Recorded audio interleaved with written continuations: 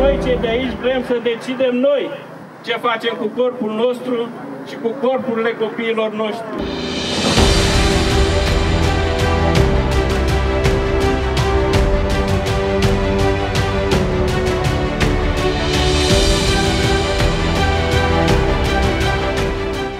primul semn de întrebare extrem de serios a fost că companiile farmaceutice care produc vaccinuri uh, nu știu cum să face, dar uh, nu și asumă, nu vor să-și asume în scris niciun fel de răspundere pentru siguranța lor.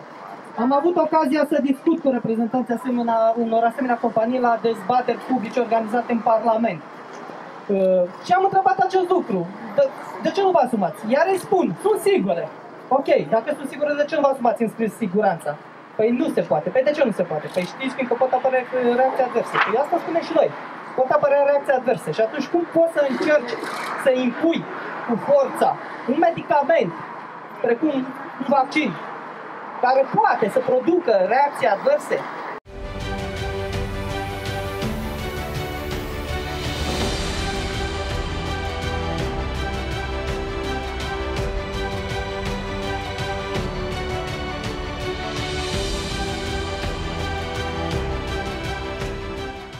ne întoarcem la o dictatură sau la un stat care hotărăște în numele individului, în numele binelui colectiv.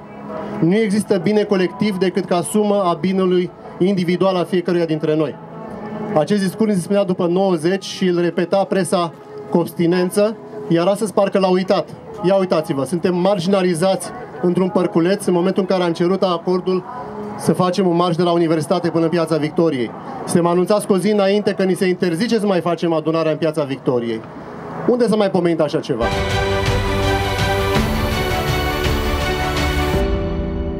Nu există consimțământ prezumat. Nimeni nu poate să presupună că eu sunt de acord.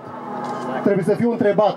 În momentul în care nu mai sunt întrebat, înseamnă că cineva hotărăște pentru mine.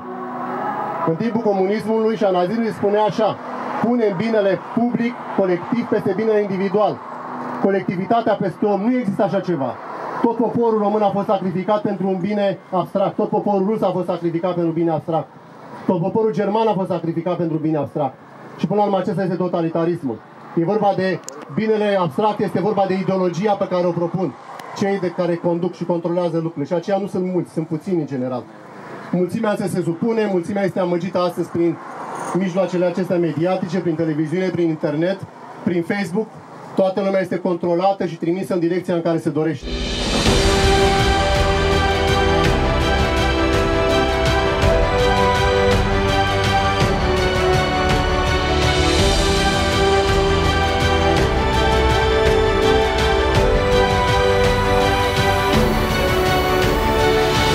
Niciunul dintre noi nu seamănă cu celălalt. Fiecare dintre noi este unic din punct de vedere al uh, caracteristicilor genetice.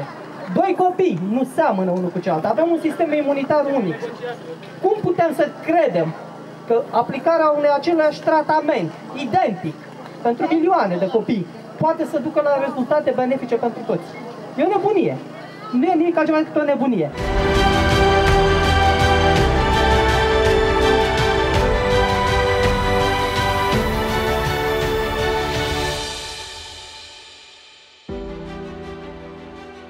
Copilul meu a fost nenorocit de vaccinul Priorix, făcut la 8 luni, tot așa pe fondul unei așa zise epidemii de rujeolă și rubeolă.